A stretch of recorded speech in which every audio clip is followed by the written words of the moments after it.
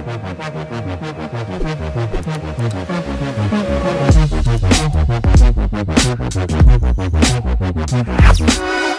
दोस्तों, मेरा नाम हाशिबुल और आप देख रहे हैं मेरा टेक सोल्यूशन यूट्यूब चैनल तो दोस्तों, आजकल बहुत सारे लोगों को जियो फोर नेट यूज़ करते रहते हैं और उस जियो फोर नेट को यूज़ करके बहुत सारे प्रॉब्लम आती है।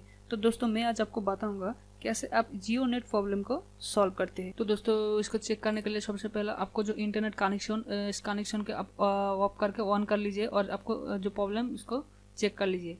तो दोस्तों, आप देख लीजिए डाटा कनेक्शन, इसको ऑफ़ करके ऑन कर लीजिए और आप देख लीजिए, यहाँ पर कोई भी तरह नेट कनेक्शन नहीं ऑन होती है और भी कोई नेट कनेक्शन के ऑन सैम्बल सिंबल नहीं आती है। तो दोस्तों, इस प्रॉब्लम को सॉल्व करने के लिए आपको जो करना पड़ेगा, मैं बताता हूँ। सबसे पहले आपको जो सेटिंग तो सेटिंग पर जाना पड़ेगा। तो दोस्तों देख लीजिए, यहाँ पर सेटिंग सेटिंग पर क्लिक कीजिए और उसका बाद आपको जो सिम कार्ड मैनेजर पर जाएगा और आप देख लीजिए आपको सिम एक्टिवेट है या नहीं।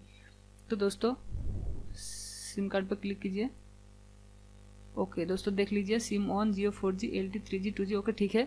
तो दोस्तों उसका बाद आपको मोबाइल नेटवर्क पर क्लिक कीजिए और क्लिक करने के बाद आप देख लीजिए network mode SIM on L T three G two G उसको उसको क्लिक कीजिए और आपको एल टी ओनली क्लिक कीजिए, ओके।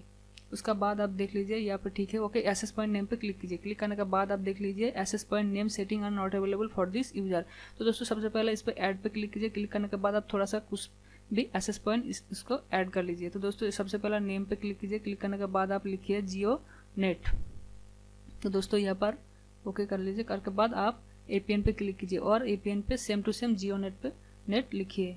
तो दोस्तों, उसका बाद थोड़ा सा नीचे आएगा और आके बाद आप देख लीजिए M C C four zero five और M N C eighty six तो दोस्तों ठीक है? उसका बाद आप थोड़ा सा नीचे आएगा और आ, देख लीजिए ए पी एन टाइप उसका क्लिक कीजिए और डेफल्ट ठीक ही है? यहाँ पर डिफ़ॉल्ट कर दीजिए।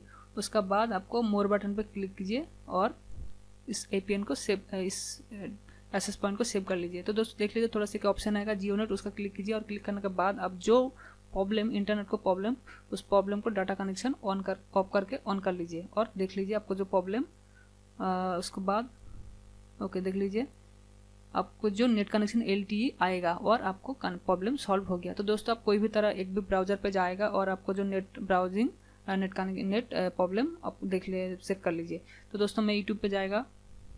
तो दोस्तों, देख लीजिए ब्राउजिंग हो गया। ओह, ओके जियो पेज खुल जाएगा। तो नेट प्रॉब्लम सॉल्व हो गया। तो दोस्तों, इस वीडियो पसंद आ जाए तो ज़रूर लाइक कीजिए और हो सके तो मेरे चैनल को सब्सक्राइब कीजिए। Thank you for watching video bye bye and take care